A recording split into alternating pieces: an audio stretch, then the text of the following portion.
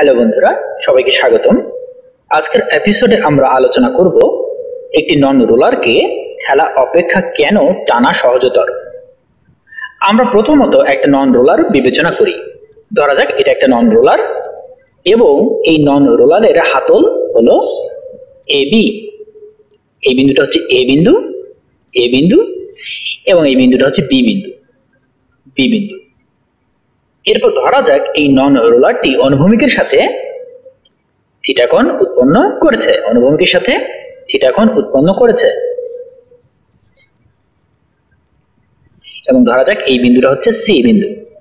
তার মানে A B সরলেখাটি এখানে এ সি সরলেখাটির সাথে থিটাকোণ উৎপন্ন করেছে। এখন ধরা যাক এই নন রোলারের উপর এফ বল প্রয়োগ করা হলো। অর্থাৎ এই নন রোলারটিকে ঠেলা হচ্ছে বি এ বরাবর। বি এ বরাবর তার মানে হচ্ছে রোলারটির উপর বি এ বরাবর এখানে বল প্রয়োগ করা হচ্ছে, তাই না? আচ্ছা।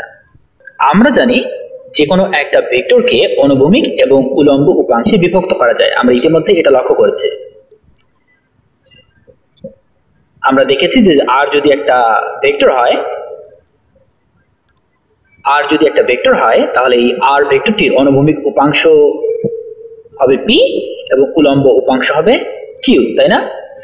আচ্ছা এবং আমরা আরও দেখেছিলাম যে পি ভেক্টরটির মান হবে P equal to R cos theta R cos theta এখানে থিটা হচ্ছে পি আর এর সাথে যে কোণে রয়েছে সেই কোণ, এবং কিউ ভেক্টরের মান হবে Q equal to R sine theta R sine theta তাহলে এখানে নন রোলালের উপর যদি এফ বল প্রয়োগ করা হয় এফ বল প্রয়োগ করা হয়, তাহলে এই এফ বলটিকে আমরা অনুভূমিক এবং উলম্ব উপাংশে বিভক্ত করতে পারব। তাহলে আমরা এফ বলটিকে প্রথমত সামনের দিকে বর্ধিত করি। বর্ধিত করি। তাহলে আমরা এই এফ বলটি থেকে দুটি উপাংশ পাবো। একটি উপাংশ হবে অনুভূমিক বরাবর এবং এই উপাংশকে আমরা এ ডি সরলেখা দিয়ে প্রকাশ করি এবং এফ বলের বর্ধিতাংশকে আমরা এ ই সরলেখা দিয়ে প্রকাশ করি। তাহলে এফ বলের একটি উপাংশ আমরা পেয়েছি, অনুভূমিক উপাংশ। তাহলে আমরা এফ বলের উলম্ব উপাংশটি রাখি এবং ধরা যাক যে উলম্ব এবং ধরা যাক উলম্ব উপাংশটি এ, এফ সরলেখা দিয়ে নির্দেশ করা হলো। আচ্ছা এখানে লক্ষ্য করে দেখো, কোন বি, এ, সি এবং কোন ডি, এ, ই পরস্পর সমান। কারণ বিপ্রতীপ কোণ, তাই না? তাহলে কোন ডিএই আমরা সমান লিখতে পারি থিটা। এই কোণটা থিটার সমান। তাহলে এখানে লক্ষ্য করো, এ ই এই সরলেখাটা দিয়ে বল এফ কে নির্দেশ করা হচ্ছে, তাই না? তাই না? আচ্ছা এখানে কনফিউশন এড়াতে আমরা এই বিন্দুটিকে এফ বিবেচনা না করে এক্স বিবেচনা করি। এক্স ধরা যাক যে এখানে এফ বলের উলম্ব উপাংশ, এ এক্স সরলেখা বরাবর ক্রিয়া করছে। আচ্ছা তাহলে যদি এই রোলারটির উপর এই বরাবর এফ বল ক্রিয়া করে, তাহলে আমরা বলতে পারব, এই এফ বলটিকে আমরা অনুভূমিক এবং উলম্ব উপাংশে বিভক্ত করতে পারব, তাই না? তাহলে এফ বলের অনুভূমিক উপাংশ কত হবে? F cos theta F cos theta এবং এফ বলের উলম্ব উপাংশ হবে এফ সাইন থিটা এখানে এফ সাইন থিটা এই উপাংশটি অনুভূমিকের সাথে লম্ব বরাবর ক্রিয়া করছে, তাই না? আবার লক্ষ্য করে দেখো, এই রোলারটির কিন্তু নিজস্ব একটা ওজন আছে। এবং ধরা যাক, এই রোলারটির ওজন হচ্ছে ডাব্লিউ ডাব্লিউ এবং এই ওজনটিও কিন্তু অনুভূমিকের সাথে লম্ব বরাবর ক্রিয়া করবে, পৃথিবীর কেন্দ্রের দিকে ক্রিয়া করবে, তাই না? তার মানে দেখা যাচ্ছে এখানে এ এক্স এই সরলেখা বরাবর দুইটি বল ক্রিয়া করছে, তাই না?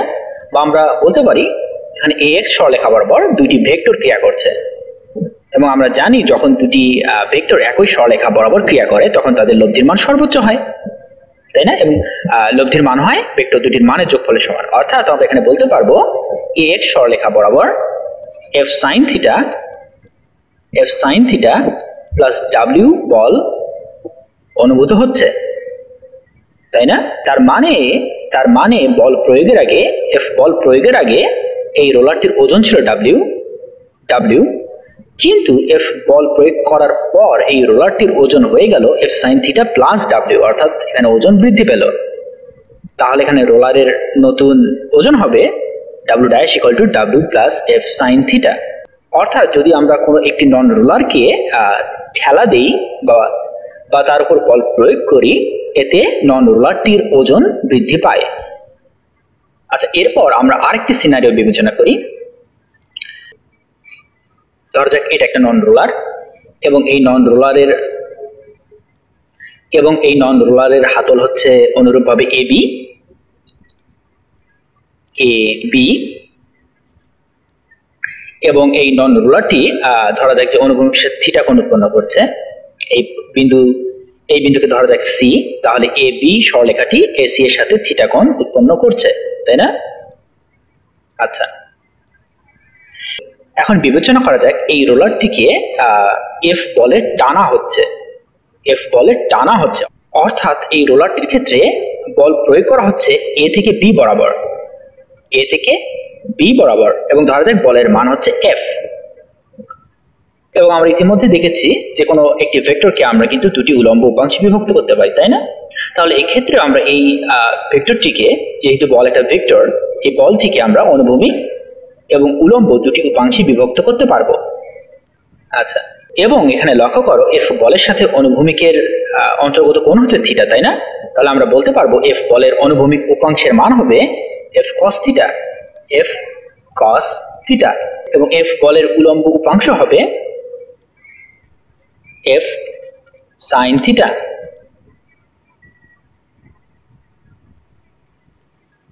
F sine theta আচ্ছা।